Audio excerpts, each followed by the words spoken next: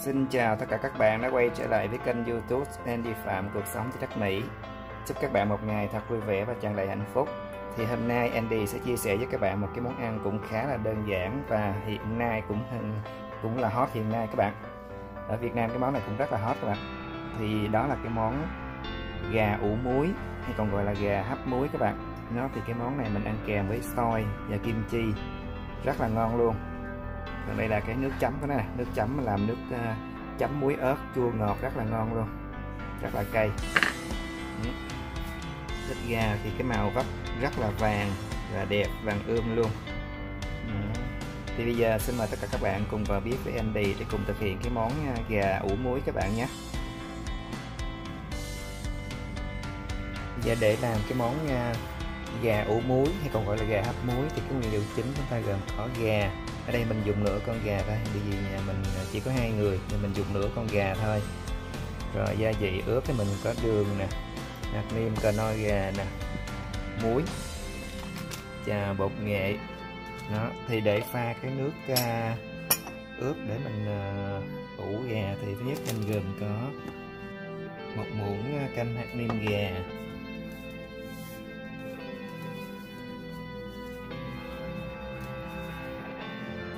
Một muỗng muối.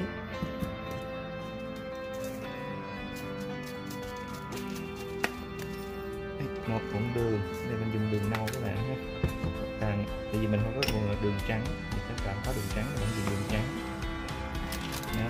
thì để tạo thêm cái màu đẹp cho gà thì có thể chúng ta cho thêm một ít bột nghệ. Để làm cho cái da gà nó mềm nó nó vàng. Cho khoảng lượng cái bột bột ờ, bột nghệ các bạn nhé. Cho chúng ta trộn nó lên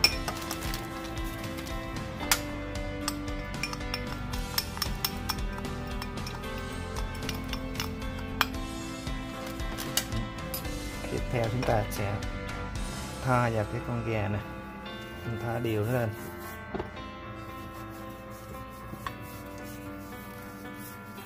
Đây là mình dùng gà đi bộ các bạn nên nó mềm, nó rất là ngon. Chúng ta ướp hai mặt nó cho nó thấm đều.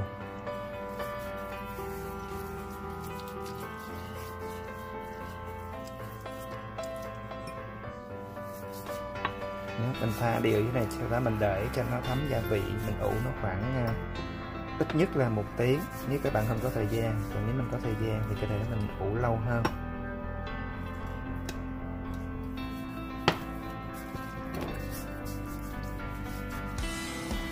Để như cho nó thấm gia vị khoảng một tiếng các bạn nhé. Cái món này mình ăn kèm với lại là xôi rồi đây mình mình nấu một à, gồm có một cái à, cúp gạo một cúp nếp. Đó, mình pha với nhau. Sau đó mình muốn cho cái à, cái gạo này nó ngon nó có màu đẹp thì chúng ta sẽ cho đây một ít cái à,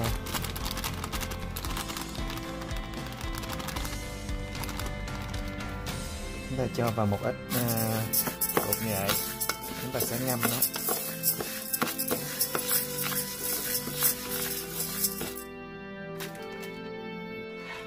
Chúng ta đậy lên cho đều. Đó. chúng ta ngâm cái này khoảng à, một à, tiếng đồng hồ các bạn cho nó gạo nó nở với lại cái nó thấm cái cái màu điều màu nghệ vào đây thì nó sẽ đẹp. Bây giờ chúng ta pha, sẽ pha nước chấm là nước muối ớt, chanh ớt. Thì chúng ta dùng một khoảng ờ, bột muỗng tùy mình ăn nhiều ít ha. Một muỗng ờ, muối một muỗng đường. Hai muỗng nước cốt chanh.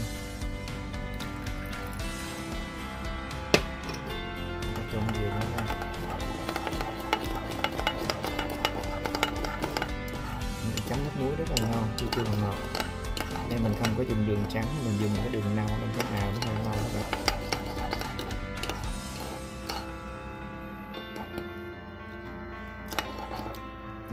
chua chua mặn mặn rất là ngon.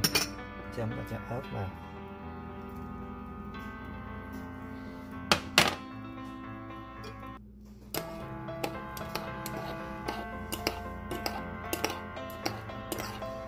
Ừ, rất là các bạn. Đây là nước nước chấm à, muối tiếp theo em cho thêm một ít cái à, lá chanh vào. Lá chanh mình thái nhuyễn như thế này, cho nó thơm. Còn một phần còn lại chút mình à, để lên à, cho lên gà.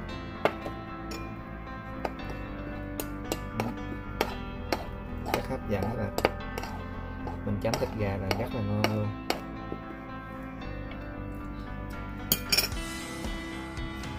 Bây giờ gà sau khi mình ướp được à, mình ủ nó được một tiếng rồi. Bây giờ chúng ta sẽ cho vào hấp. Mình có hai cách hấp. Một là mình à, hấp cấp thủy như thế này. Hai là mình à, mình mình không hấp cấp thủy mình à, nấu trực tiếp ở phía dưới nhưng nó dễ bị khé. nếu các bạn không à, canh lửa nó cẩn thận nhưng mà mình hấp cái mình hấp mình thích hấp cái cấp thủy hơn mình sẽ lót ở đây một ít lá xả cho nó thơm sau đó mình sẽ cho gà vào.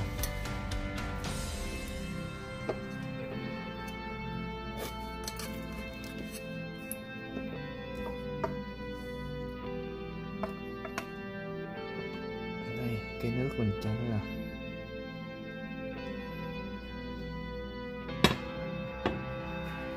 Chúng ta sẽ dùng một cái à, giấy bạc. Chúng ta gói nó lại. Chúng ta gói gói nó lại cho nó chặt.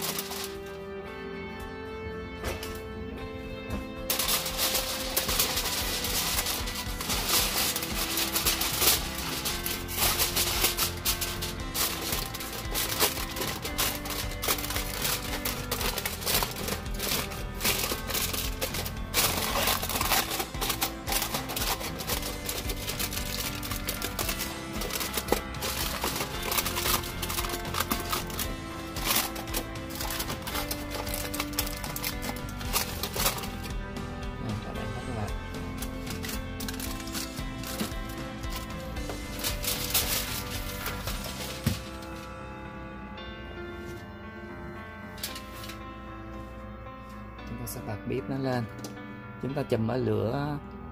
Thứ nhất là bật lửa cho nó to đi một chút khi nào nước nó sôi. Thì chúng ta sẽ chỉnh lửa nhỏ là thấp nhất có thể. Vì mình chùm riu riu riu riu, mình nấu khoảng một nửa 45 phút thì nó sẽ chín các bạn. Mình chùm riu riu, mình không đậy không dở nắp nha nhé. Mình cứ đậy như này, mình chùm riu riu riu riu. Đó, thì gà nó sẽ chín. Mình riu riu cho có hơi nóng mình ủ đó bây giờ nước nó sôi mạnh chúng ta sẽ giảm lửa nhỏ là hết mức có thể luôn. Đó, chúng ta canh như này nấu khoảng 45 phút là nó chín. Đó. mình để cái ra giữa ở mức thấp nhất có thể luôn các bạn. Lô luôn nè thấp nhất luôn. Giống như mình giữ ấm thôi. Để mình giữ cái hơi này nó sẽ nó nó, nó hầm nó ủ nó thấm nó làm cho cái gà nó chín. Chứ thật sự mình không có nấu giống như mình mình mình làm cho nó hầm thôi gọi là cho nên mình gọi là gà ủ muối.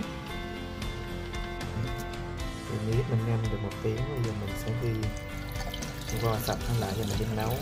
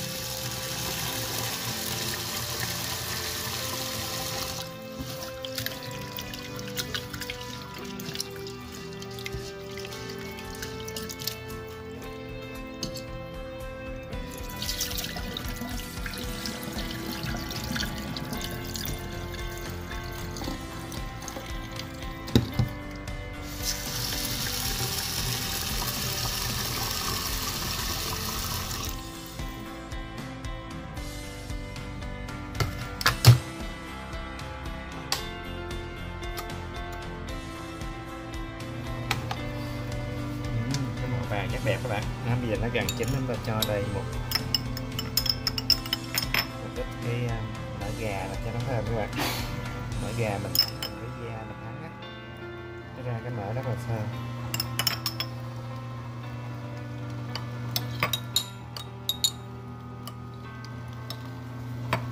Chúng ta cho ít một cái hành phi cho nó thơm.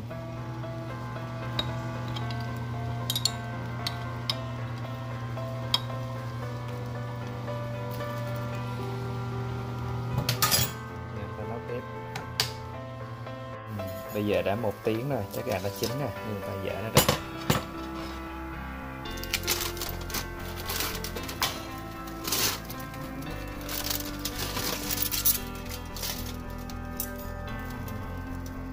da rất dạ, là tèm luôn các bạn có thấy chưa?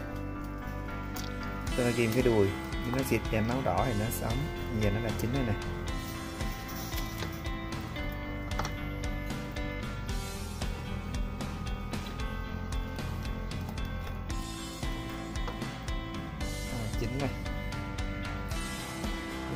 Bây giờ sẽ, sẽ lấy nó ra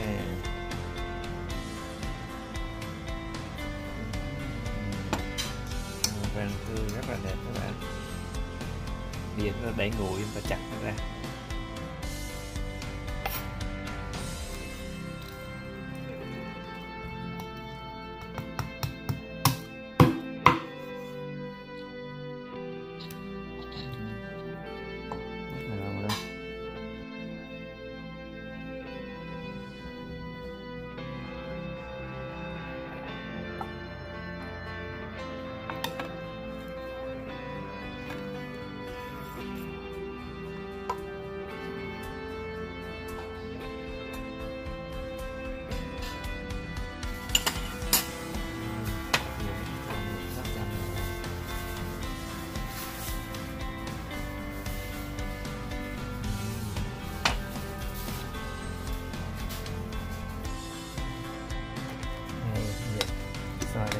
Nếp chín nè màu vàng rất đẹp các bạn rất là thơm luôn.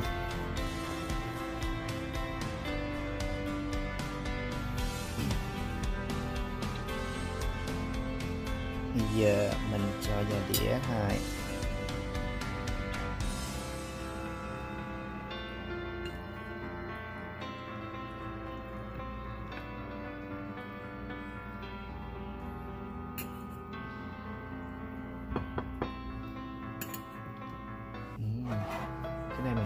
Kim chi rất là ngon các bạn. Kim chi này mình làm nè. Mình không có sử dụng ờ, ớt màu, cho nên mình sử dụng ớt băm thôi. Cho nên không có màu đỏ, nhưng mà rất là ngon, rất là cay luôn.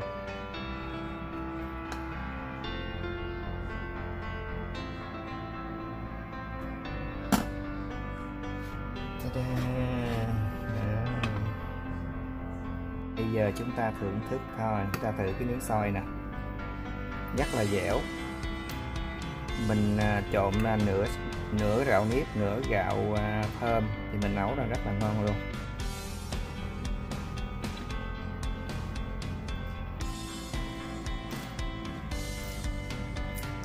Xôi mềm dẻo rất là ngon các bạn. Và thơm. Cái nào rất là đẹp luôn. Đây nước chấm rồi.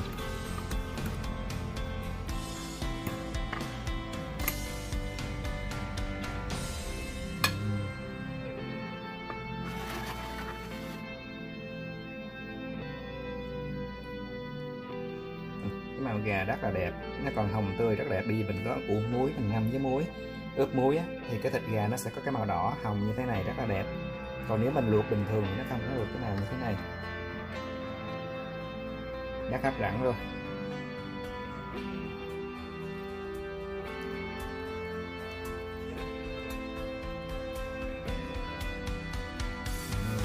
Rất là cay rất là ngon luôn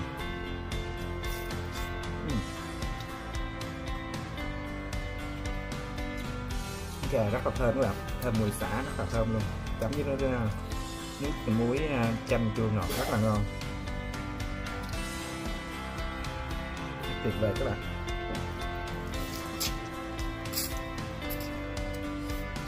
Chúc các bạn thành công với cái món à, gà ủ muối các bạn nhé. Các bạn hãy thử làm cái món này đi, cũng rất là nhanh và đơn giản, rất là ngon các bạn. Chúc các bạn thành công. Hẹn gặp lại các bạn vào cái video tiếp theo. Xin chào tạm biệt tất cả các bạn.